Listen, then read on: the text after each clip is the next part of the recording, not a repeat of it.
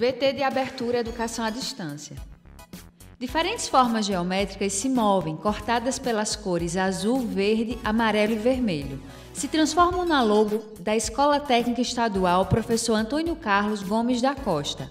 As cores e formas se misturam em fundo azul e vermelho. Abaixo e à direita da tela, o nome: Educação à Distância. Curso Técnico em Recursos Humanos, Capital Humano, Competência 2.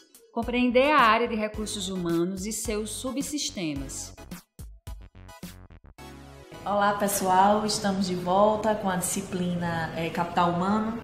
Ela é branca, cabelo longo e loiro, olhos verdes, veste blusa preta e usa brincos longos, visto da cintura para cima. Como você já me conhece, eu sou a professora Daniela Coelho e hoje começaremos a segunda competência.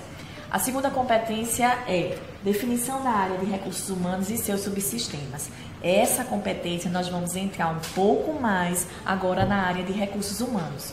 Como conteúdo dessa competência, nós teremos recursos organizacionais, estilos de administração de recursos humanos, administração de recursos humanos, processos de recursos humanos e políticas de recursos humanos. É muito recurso humano juntos, vamos tentar acompanhar para a gente não se perder. O primeiro é recursos organizacionais. O que seria isso? Existe uma definição de recurso, eu vou citar também que é Vinato um recurso muito claro, que é muito importante que a gente entenda. Deixa eu ler para vocês. Os recursos são meios que as organizações possuem para realizar suas tarefas e atingir seus objetivos. Ou seja, recurso é aquilo que eu preciso ter para alcançar um determinado objetivo. E se eu estou falando de recurso organizacional, significa dizer o quê? Que aquele recurso desenvolvido pela organização é fundamental para o alcance dos resultados. E como a nossa disciplina é capital humano, o recurso que nós estamos falando aqui são as pessoas. Vamos entender um pouco mais isso. As pessoas são essenciais para a organização, como falamos na competência, na primeira competência. Se as organizações são, perdão, se as pessoas são fundamentais na organização, Significa dizer que as pessoas nesse contexto são consideradas recurso, mas precisamos entender que elas são muito mais importantes do que qualquer outro recurso recurso material, recurso financeiro, recurso administrativo e assim por diante. No material de vocês tem toda uma descrição de todos os recursos possíveis dentro de uma organização. É importante que vocês não deixem de dar uma olhada. Bom, a teoria também determina dois tipos de recurso é, utilizados dentro de uma organização. O primeiro é chamado de ativos organizacionais e o segundo de capacidades. Vamos definir cada um deles. Os ativos organizacionais são os dons que uma organização acumulou como investimento ao longo de todo o tempo desenvolvido por ela. E capacidade são os conjuntos complexos de habilidades e aprendizado no coletivo. Coletivo de quem? Do capital humano. Lembra da primeira competência? Então, capital humano, sendo considerado toda a sua habilidade dentro do contexto organizacional, é chamado de recurso de capacidade. Bom, como segundo tópico, nós começamos a falar sobre os estilos de administração de recursos humanos. Esses estilos nós podemos classificar como gestão. Eu acho que a palavra gestão é mais fácil da gente entender. Toda organização ela tem um tipo de gestão.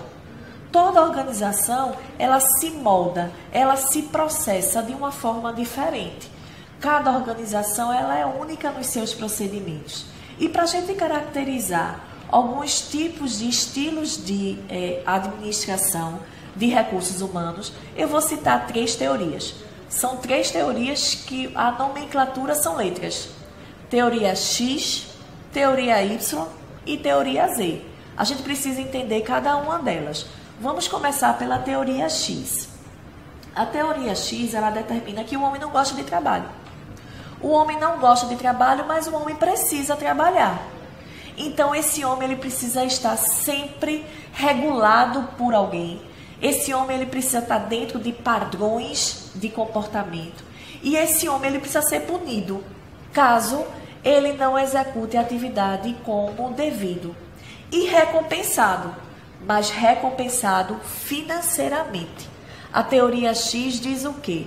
Diz que o homem para trabalhar bem, ele precisa ser recompensado financeiramente. Será, pessoal, que hoje a questão financeira sempre se sobrepõe em relação às recompensas? Ou seja, a melhor recompensa para um colaborador é dinheiro? E eu coloco uma interrogação enorme que eu espero que no decorrer do curso, não só da nossa disciplina, mas no decorrer do curso vocês consigam identificar e encontrar essa resposta. A teoria X, perdão, a teoria Y é o oposto da X. A teoria Y diz não. Esse homem ele pode gostar de trabalhar. Esse funcionário ele pode desenvolver bem, se ele for motivado. Veja uma expressão que cada dia que passa é mais utilizado dentro das organizações. Motivação. Então, se eu tenho pessoas que gostam de trabalhar, que precisam trabalhar e que são essencialmente motivados, significa dizer que a minha organização vai encontrar os seus resultados. E os seus resultados nesse momento, a lucratividade. Então ela diz o seguinte: o relacionamento no trabalho a perspectiva de valorização profissional e pessoal e o desafio de um projeto interessante são pontos motivadores de um colaborador dentro da empresa. Quem não quer ser reconhecido pelo seu gestor?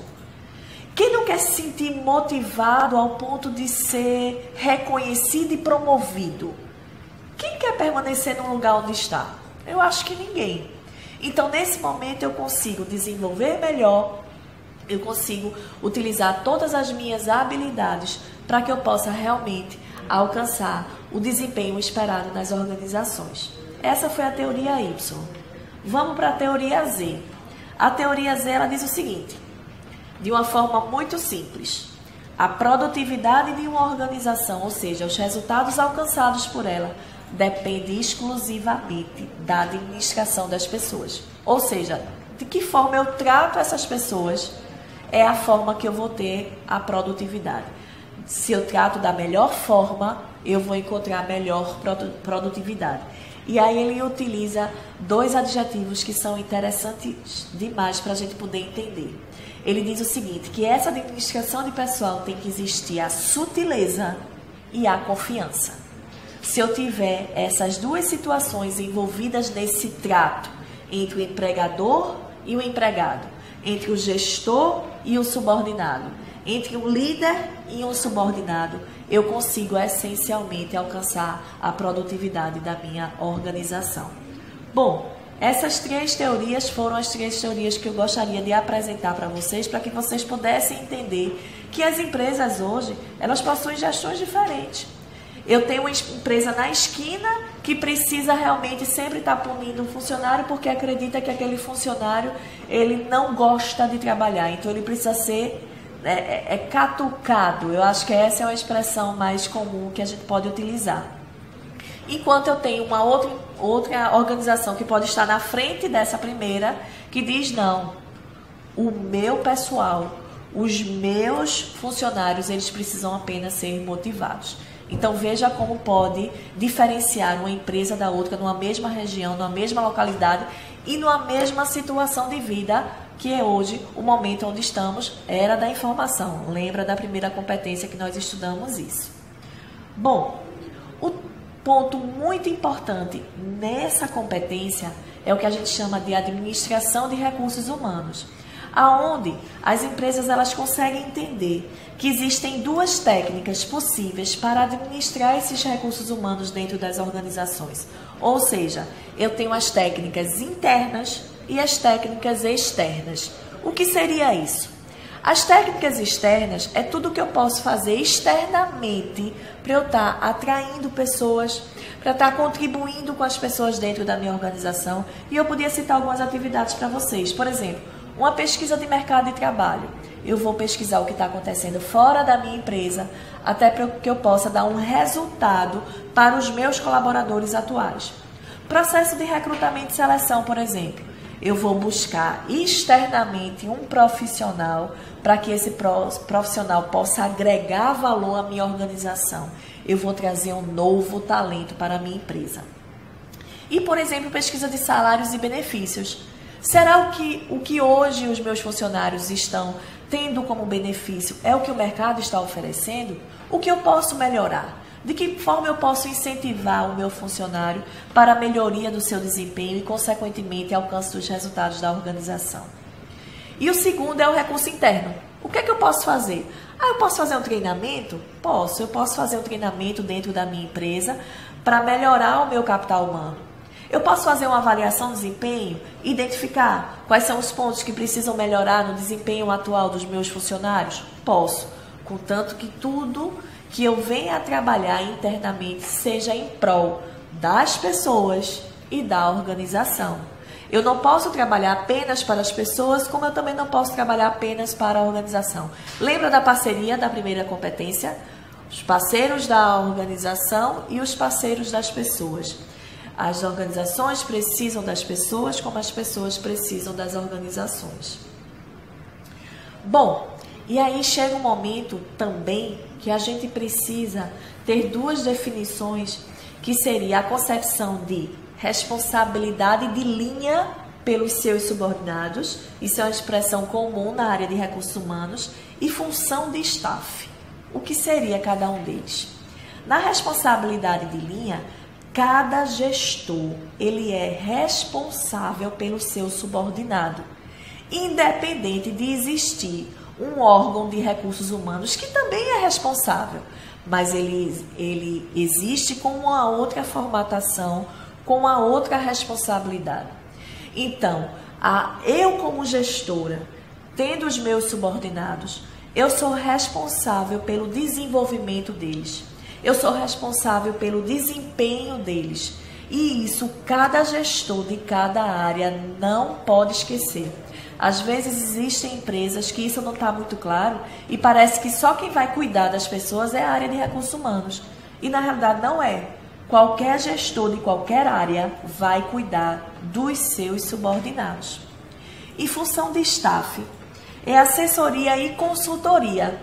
Por exemplo, será que o recursos humanos não presta consultoria a um gestor da área financeira, é, é, é, é conduzindo esse gestor para o seu melhor trato com os seus subordinados, ou seja, o recursos humanos ele dá capacidade para os gestores das outras áreas de evoluir com os seus subordinados. Então a gente nunca pode esquecer a importância de todos os gestores dentro da uma organização. O gestor da área financeira, ele não é responsável simplesmente por questões financeiras da empresa. Ele é responsável por essas questões e responsável por todos os funcionários que trabalham na área financeira. É muito importante que vocês tenham essa compreensão. Processos de recursos humanos, isso é fundamental. Eu gosto muito de utilizar uma palavra que se chama subsistemas. Subsistemas eu acho mais bonito do que processos, mas significa a mesma coisa.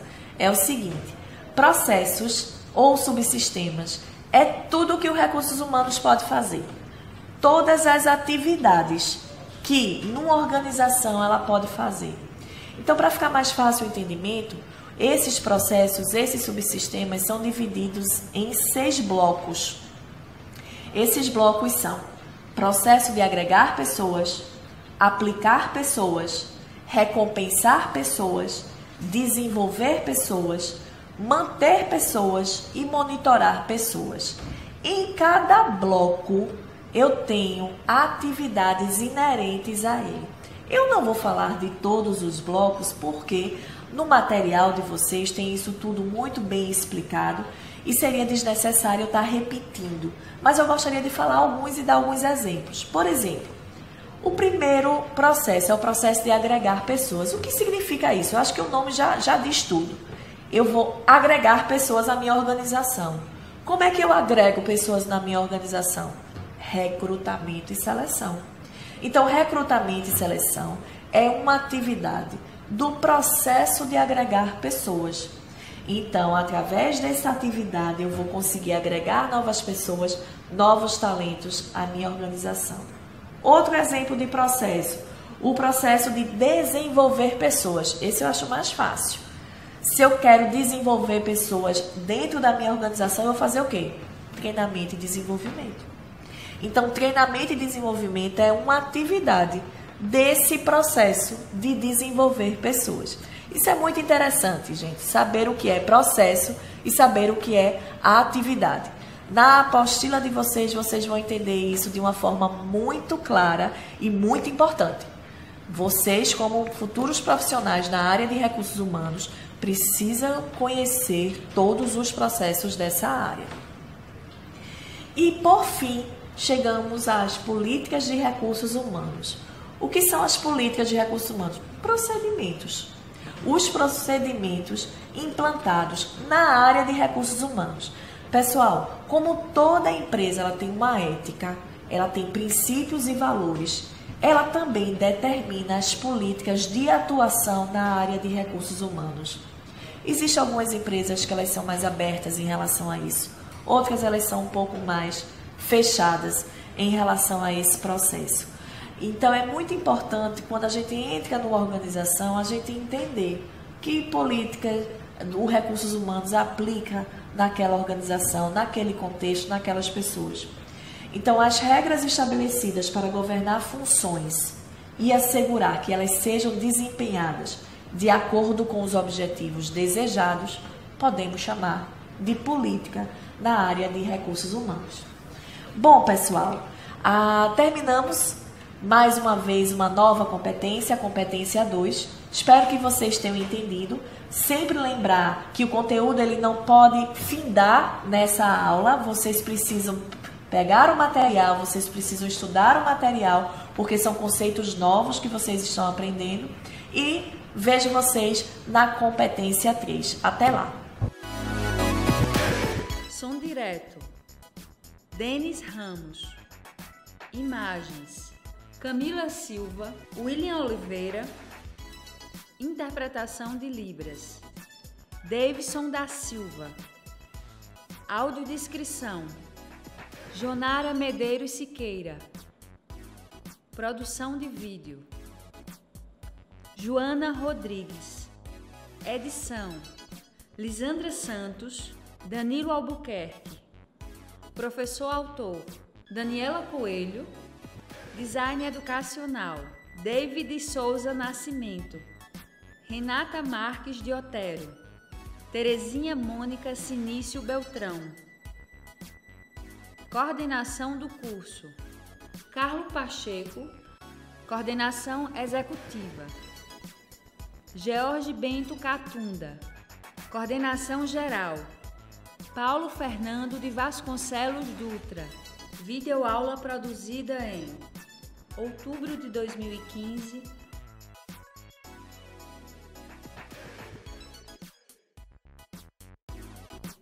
Conteúdo produzido para os cursos técnicos da Secretaria Executiva de Educação Integral e Profissional, em convênio com o Ministério da Educação, Rede ETEC Brasil.